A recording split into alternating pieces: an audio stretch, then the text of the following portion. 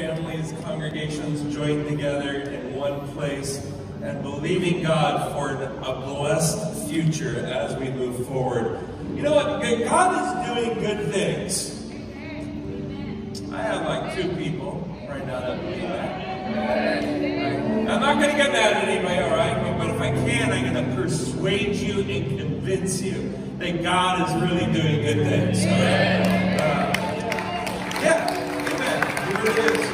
I haven't persuaded you yet, but, you know, thanks for the applause. That's good. Um, you know, if you watch the news, you will hear that, uh, yeah, thank you, team. Great job. Fantastic. Uh, you watch the news.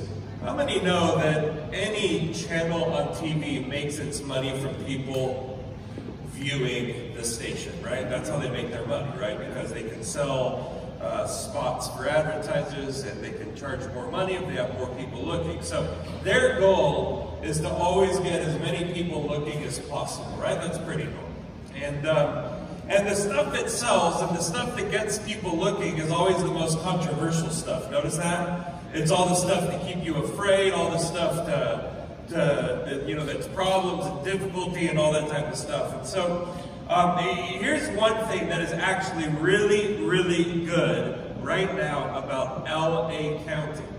While the media has been talking about the cases going up and up and up, and they have been, there's no denying that, that's been happening uh, that the COVID cases going up. If you actually track it, I'm a numbers guy, and so I look at this stuff like multiple times a week. You'll notice that actually our rise happened at the exact same time last year. And it will go down, guess what, at the exact same time as it did. And so we're probably about two or three weeks away from it going back down uh, from its rise. But here's the crazy thing. The crazy thing is that even though the cases have gone up, the number of people passing away due to COVID has not increased at all. It has remained the same. Lives are being protected. How many can say praise Jesus for that? That is a good thing. That is a good thing. So while the news is telling you it's all horrible, they're not telling you the good part of the news. That is, lives are being protected. God has been good. And also, regarding uh, the new facility that we will be moving into, the new property. Uh, this is not a date, okay? There isn't a date for you yet, but it's going to be soon, very soon. I know you hear me say that like every week. You're like, okay, you've been saying soon for forever. Yeah, okay, just a little bit of patience. But I, I can promise you, today we're one week closer than we were last week. So, you know, that's good news, right? Right? Listen, we, just have a few things we, we needed to get done. Interestingly enough, when they built the, the building, the sanctuary, the auditorium, in 1962, I think it was, they actually put in a central air system, which is amazing. But you know what they did? They only put in central heat. They forgot the air conditioner. I have no idea. But, and I have been in there so many times this summer, and you know the middle of the day, and it is hot in there. And imagine if you fill that room up with hundreds of people. I mean, how, how that's going to be. So we're working right now. There's an air conditioning system that's going in, and there's a whole lot of work to do with that. Had to drill into concrete and you know get stuff done. But uh, that I think I think that air might be done. Uh, this week, and I will be praising Jesus so that way I can walk in there and like turn on the air and be like, all right, I can chill out great.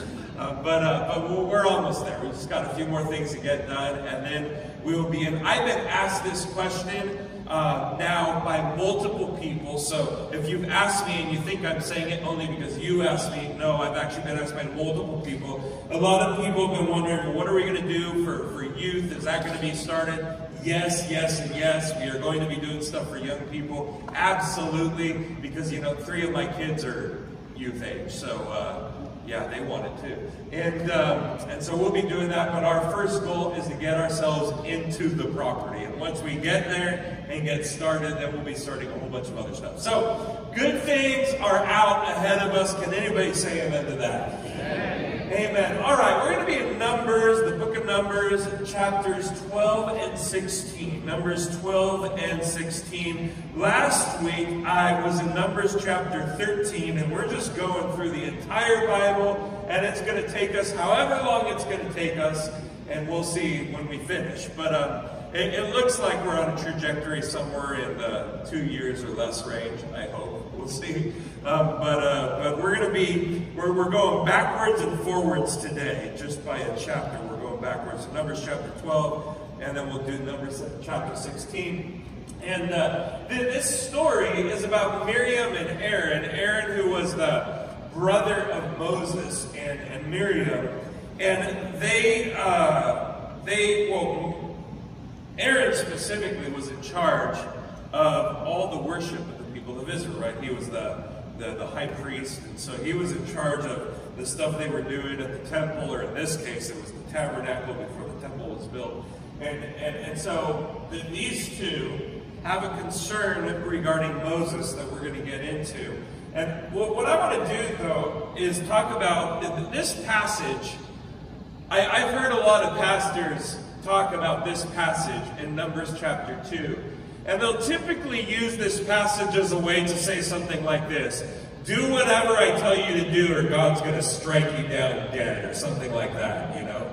And uh, yeah, that's not what I'm going to be doing today. Um, but it's a great passage to learn some important things about how we can be leader followers. Yeah, you heard me right. Leader followers. How many leaders are in this room right now? Raise your hand if you're a leader. All right. Some of you might be a little bit confused about it, so let me ask another question. All right. How many of you are a parent? Parents, raise your hands. All right. All of you parents, you're a leader. You're a leader. So look at somebody close to you. Just tell them, you're a leader. You're a leader. All right, okay. How many have friends? Anybody have friends? Some people are like, yeah, I'm working on that one. I'm a little behind. All right. If you have friends, how many have gone out with friends to a restaurant and you stood together like in a parking lot, a car, in a house, wherever, for like 20 minutes, deciding where you were going to go out to eat? Because everybody had a different opinion, right? And how many of you, your opinion won out? You, you won, and you went to your place. Not enough hands, it means I need to teach you how to influence people, apparently.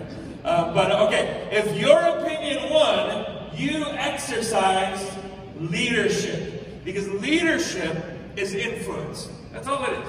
Leadership is influence. And so if you have influence anywhere you are, in your place of work, you can lead people without even being in charge. Did you know that? You can lead people without being in charge. You know, when my kids come up to me and ask me for something, and they ask me enough times, I might end up, might, my keyword might, end up giving in to them. And in that moment, who led who? Did I lead them? No. No, they actually led me. They influenced me. And so position does not determine leadership. Leadership is determined simply by influence. Everybody say the word influence. But the best leaders in the world are the best followers. The best leaders are the best followers. Let me put it this way. I think you would all agree that the best leader that ever existed on planet Earth was Jesus Christ. Would anybody agree with me on that? I mean, if you think about it, in three years, he started an entire movement that today, 2,000 years later, involves two billion people across the planet Earth. There is not a single human being that has ever accomplished anything remotely close to that. And today, we celebrated and honored him through communion. There is nobody that does that. For any other person that passed away on this planet, that gave their life like Jesus did. He was the best leader. But get this, Jesus as the best leader was also the best, anybody know where I'm going? the best follower. Because it was Jesus that said, I do what I see my Father do. So the best leaders are the best followers, and the best followers are the best leaders. And all I want to do today is something really simple for all of you. It doesn't matter your age, doesn't matter titles, doesn't matter positions. It just matters that you consider yourself a person that God can use to influence others and that to do that to the best of your ability means that you would become a person that follows Jesus closely. Can anybody say amen to that? And, um, and I want to use this story here to talk through this and to just share some thoughts with each, with each and every one of you. So let's jump in. Chapter 12 of Numbers, starting in verse 1. While they were at Hazeroth, Miriam and Aaron criticized, everybody say the word criticized. They criticized Moses because he had married a Cushite woman. The important thing about this is just to understand that the people of Israel, the Jewish people, would only marry inside of the Jewish people, right? With, within their, their group, their nation. But Moses, the leader of Israel, had married somebody who was outside of the faith, who was not a Jewish person. Right? So they said, Has the Lord spoken only for Moses? Hasn't he spoken for us too? But the Lord heard them. Everybody say that with me, but the Lord heard them. I've got to tell you right now, careful with what you say because God is always listening. Right? I, young person going off on your parents, you know, in the room, they might not hear you, but uh, yep, God does, right? And uh, parents, same thing. So I'm not going to point out just the young people, parents going off about your kids after they've gone to bed. Yeah, God's hearing that too. He's hearing it all. But the Lord heard them. I love verse 3. It's one of my favorite verses in the Bible for just an interesting reason. It says this, Now Moses was very, what does it say right there? Very humble. More humble than any other person on earth. So this verse says that Moses was the most humble person on the planet Earth. I have a question for you. Does anybody know who wrote the book of Numbers? Moses did. He's like, hey, I am the most humble person on the planet. That's like Elon Musk writing a book and just say, Elon Musk is the most intelligent human being on the planet. It's like, maybe, maybe not, but you know, okay. Uh, now, it is the Word of God, so we consider this to be true. And it was true, because if you look at the life of Moses, he actually did display remarkable humility. And we're going to see that in this story today. But this leads me just to the first thing that I want to say. Because if you want to be a good leader follower, understand this for you. This is going to challenge you right now. Constant criticism creates conflict. Yeah, four words that start with C. It just sounded really good. Constant criticism creates conflict. You see, the reality is, is that Miriam and Aaron before they ever went and spoke to Moses about what they disagreed with him on, were having their own conversations before that. That's the only reason they would have gone together to say it. We know that because they had to have talked together in order to go together to talk to Moses together about it. And so they were already talking about, I could just imagine Miriam and Aaron, they were just chilling one day and they're like, you know what, we, we, we just don't like what Moses is doing. He's making some decisions. We just, we don't agree with him. And you know what? And, and then he married this woman who's not Jewish. And so, you know what? It's just not okay. Moses is out of line. He is out of order. We got to go do, deal with this. And so, constant criticism creates conflict. Now, let me be clear. I believe in a thing called constructive criticism, all right? Where you are willing to help somebody out, go to the next level, improve in an area or whatever. That's fine. There's nothing wrong with that. But there is a difference between that and a person that just speaks ill all the time of everybody else and decisions that are made. And I just, I don't like it. I don't like it. I don't like it at all. I don't like that thing on the menu that you want me to eat. I don't like this. I don't like that we're leaving the house to go here, or I don't like that we're staying at the house instead of going somewhere. I mean, I have five kids. Can I just tell you that it is guaranteed that whenever we do anything, there will always be one or two that disagree with what we're doing. It's, it's guaranteed. Now, if you think that happens among like two kids, or three kids, imagine even more with, you know, five. And so it happens a lot. And uh, the Lord is helping us through it, you know. But uh, constant criticism, a spirit of, of criticism, is not something that should represent followers of Jesus Christ. You know, I, I actually, people that spend their time criticizing, I really don't pay much attention to. I'd, I'd rather pay attention to a person that wants to get something done and improve and make stuff better. Because here's actually the key difference that you can tell. A person that has a spirit of criticism will never offer you a better way of doing something. They will only ever complain about what's being done. I don't like it that way. So what do you recommend we do? I don't know. I just know I don't like it that way. It's like, yeah. And so if you have a spirit of criticism, I'm not accusing anybody in the room because you're all amazing people, okay? But if you do, you can just say, Lord, Lord, would you deliver me from that spirit of criticism? I want to be a leader, yes, but a follower of you that contributes rather than takes away. Can anybody say amen to that? And so let's be those types of people. Miriam and Aaron most definitely were not.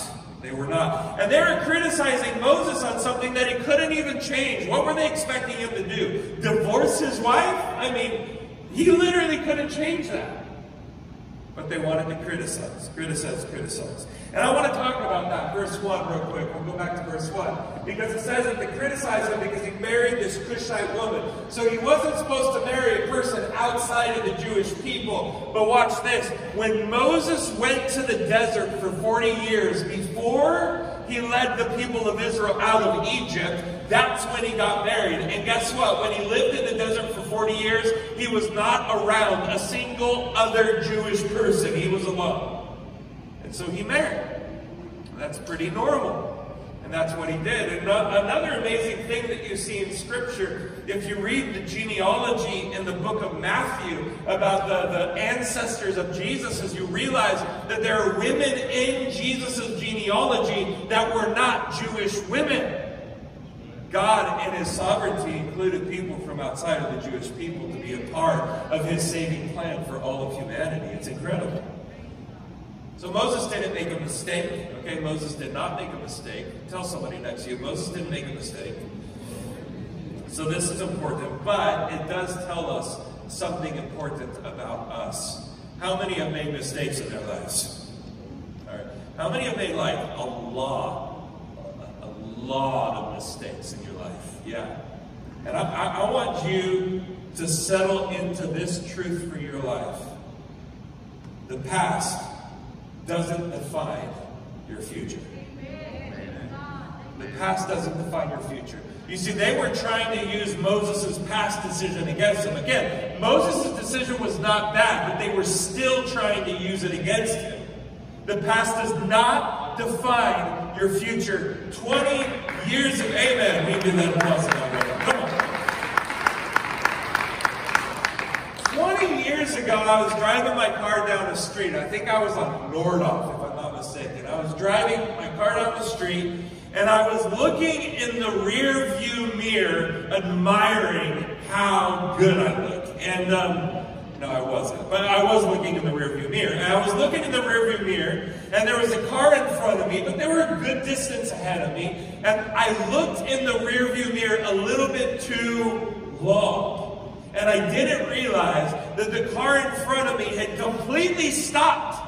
When I, for no reason, at least I don't think so, because there was nothing in front of them. There was no car turning, there was no other car parked, there was nothing. They just literally stopped. And it was too late when I finally focused my attention in front of me. And how crazy is that? Because I was looking forward, but because I was looking forward to the rearview mirror, my eyes didn't actually see what was in front of me. That tells you something about the ability of us to focus, that you can't focus on the past and the future at the same time. And I finally looked forward, realized the car had stopped, slammed my brakes, Thankfully, I did hit them, but I didn't hit them that hard.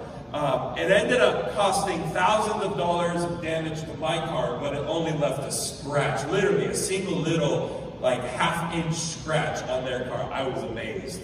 I was amazed. But the reality is that when we get stuck in the past, or when we allow others to get us stuck in our past, then our past ends up defining our future, not because it has to, but because that's where our attention is placed. But your past does not need to define your future. The past is good to learn from. So my mistakes, I learn from them, and my victories I can learn from as well. And they inform me and help me as I move forward. Hopefully I drive better now than I drove back then, right? Because I've learned the lessons. But to stay stuck in the past is not where God wants us to be. And these two people wanted Moses to be stuck in a past decision. And I want you to, with me, could you just say this with me? Say, Jesus, today I step forward. I release the past and move forward. How many can say amen to that? Amen. amen. If you want to be the best, imagine if you were a leader who is stuck in the past. I mean, I, I, was blessed, you know, that Alfredo pulled out his phone to use the, the, the, to use the Bible right there, you know. I've actually gone to the past and I now am using my Bible. I used to use my phone, but uh, this is a good past. Nothing wrong with that one. But uh, the reality is, is that if you're going to lead people and influence people in your life, whatever that looks like, in the church, in business, your family, people around you, friends that you have, whatever it looks like, you can't lead them anywhere if you're stuck in the past. And so if you want to lead other people somewhere, if you want to influence people for something, then you got to be moving forward into what God has for you. And so be that type of person. The past does not define the future. Verse 4. So immediately the Lord called to Moses, Aaron, and Miriam and said, Go out to the tabernacle, all three of you. So the three of them went to the tabernacle. Then the Lord descended in the pillar of cloud and stood at the entrance of the tabernacle. Aaron and Miriam he called, and they stepped forward. And the Lord said to them, Now listen to what I say. If there were prophets among you, I, the Lord, would reveal myself, myself in visions. I would speak to them in dreams, but not with my servant Moses. Of all my house, is the one I trust. I speak to him face to face, clearly, and not in riddles. He sees the Lord as he is. So why were you not afraid to, what word does it say right there? To criticize my servant Moses. Be careful to criticize the people that God has chosen. Now let me let me flesh this out for you because I actually want to tell you something good. I want to say this, and I say this all the time when I'm preaching, but it, it bears repeating again. You are chosen. You're chosen by God. Tell somebody that. You're chosen. This is such an important truth. Now, Moses was chosen, and let me tell you that nobody here will be chosen to be like what Moses was. No, that, that, that was a unique thing that existed for Moses in that period of time. But that does not change the fact that you are still chosen by God and have been anointed by God. Can anybody say amen? You have been chosen by Him. But see, here's the problem with most every human, and it includes Christians. And if I can do my part to get you to move away from this, then you will live a blessed life. And here it is. We too often get concerned about the other people that God has chosen for other things. We play the comparison game.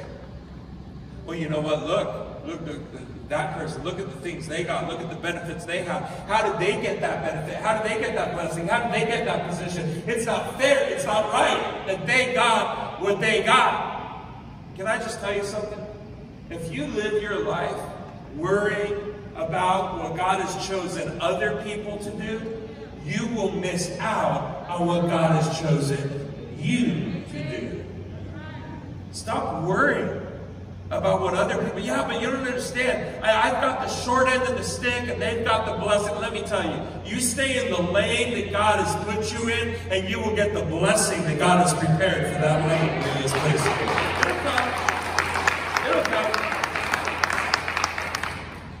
so will you trust Him? The question is, will you trust God with that? You have been chosen, but you've not been chosen to be what somebody else is or to do what somebody else does.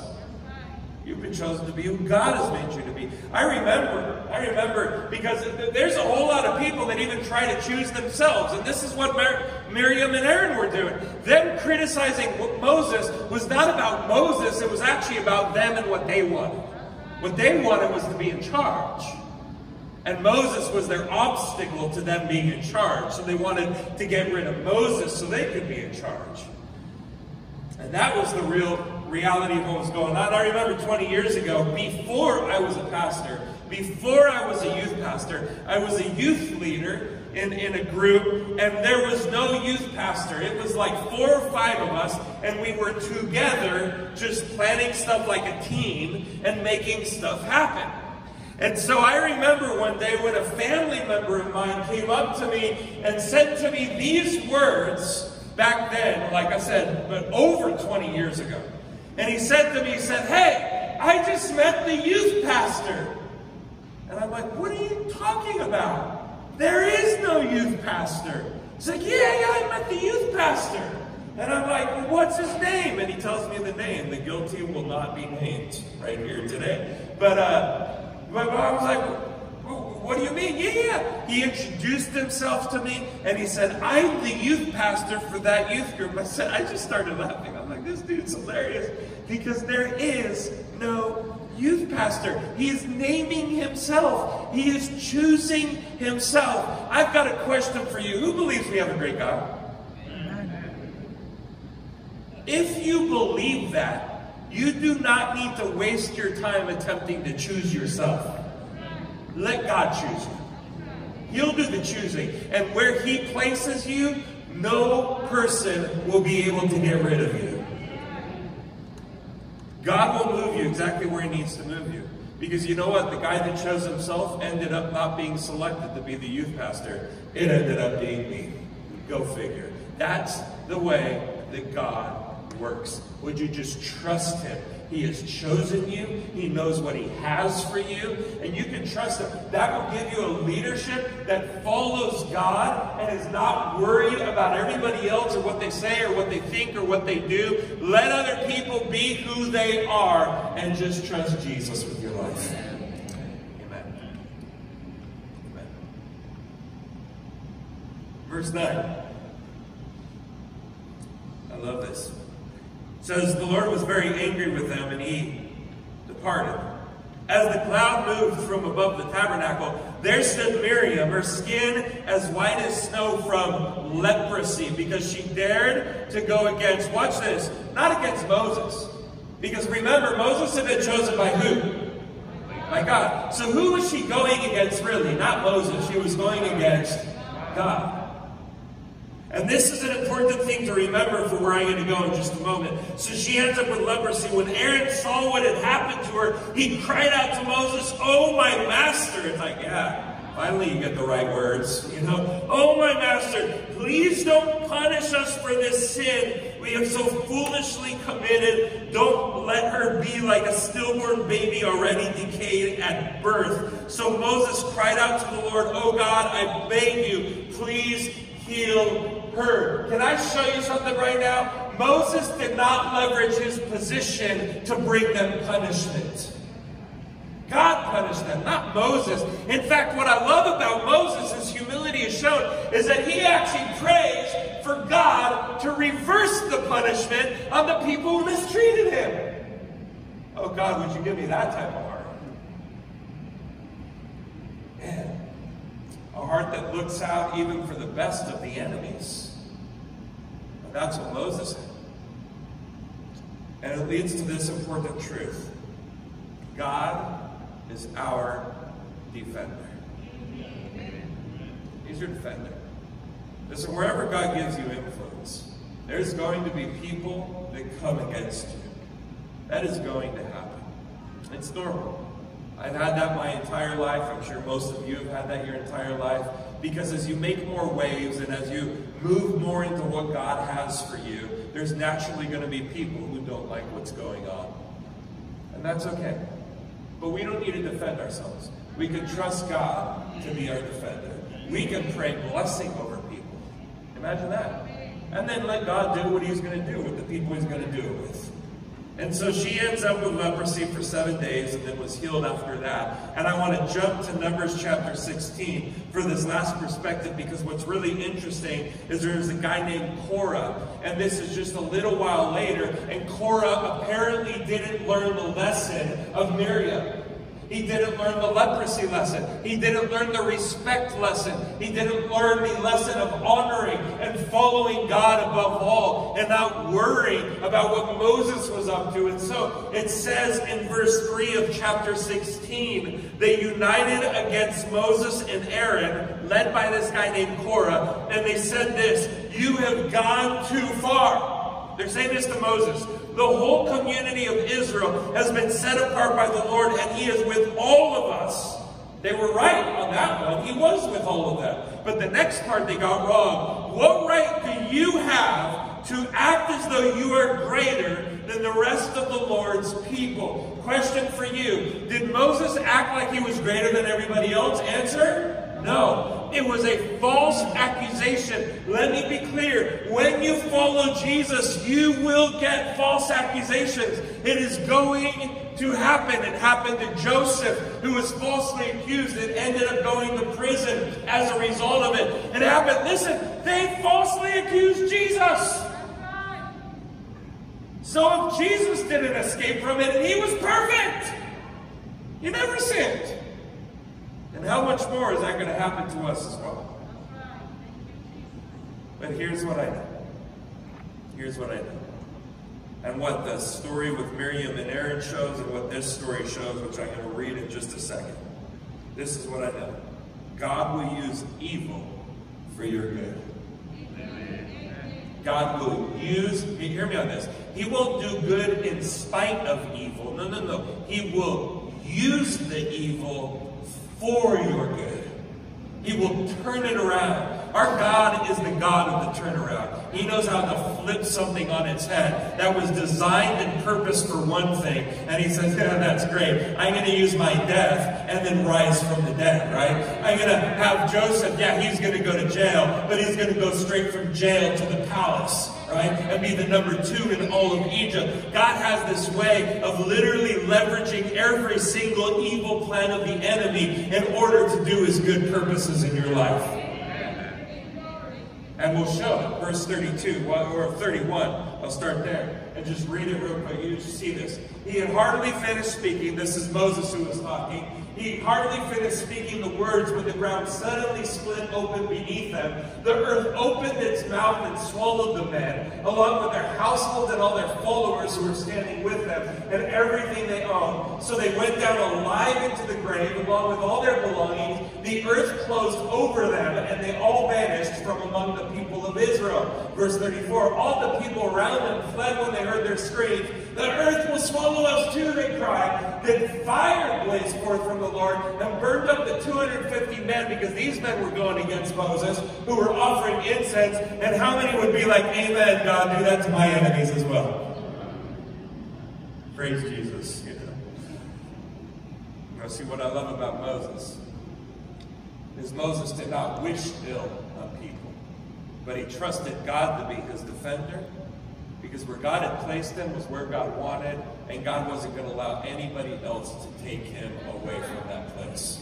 And just know this if God allows somebody to move you from somewhere, to change something, you get fired, you get kicked out, you get thrown out, could you just trust God that He's got a plan and a purpose, and it's not that He's taken away His hand from your life, it's that it's part of the process that God is using to take you to exactly where He wants you to go.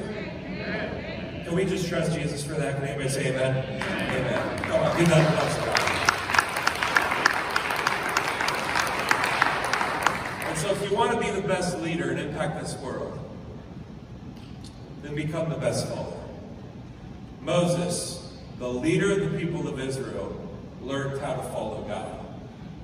Aaron and Miriam had some trouble with that.